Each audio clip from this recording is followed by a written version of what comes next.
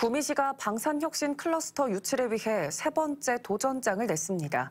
2020년 창원, 지난해는 대전에 밀려 탈락했는데 이번에는 과연 유치에 성공할 수 있을까요? 보도에 서성원 기자입니다. 방산혁신 클러스터 유치에 도전해 두 차례 연거 후 탈락의 쓴잔을 들었던 경북 구미시가 세 번째 도전에 나섰습니다. 무기 체계를 총괄하는 LIG 넥스원과 한화 시스템을 필두로 180여 개에 달하는 방산 기업에 방산 기업 원스톱 지원센터 등 관계 기관까지 이미 즐비한 데 지역 중점 전략 산업과 국방 신산업을 연계하겠다는 방위 사업청의 올해 사업 목적에 구미만큼 부합하는 곳이 없기 때문입니다.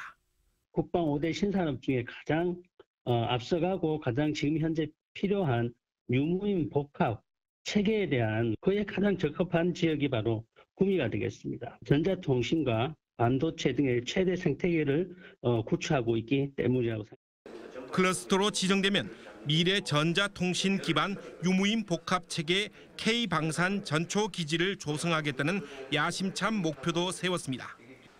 국비 245억 원에 지방비 254억 원을 보태 기술 개발과 시험 실증, 사업화, 창업 지원을 통해 구미 미래 먹거리를 만들겠다는 겁니다.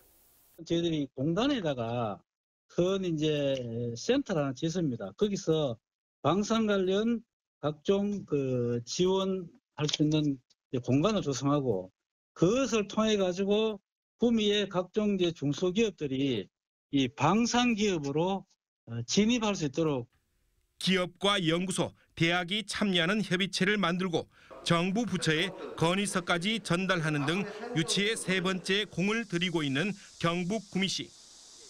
방산혁신 클러스터 공모 결과는 다음 달 발표됩니다. MBC 뉴스 서승원입니다.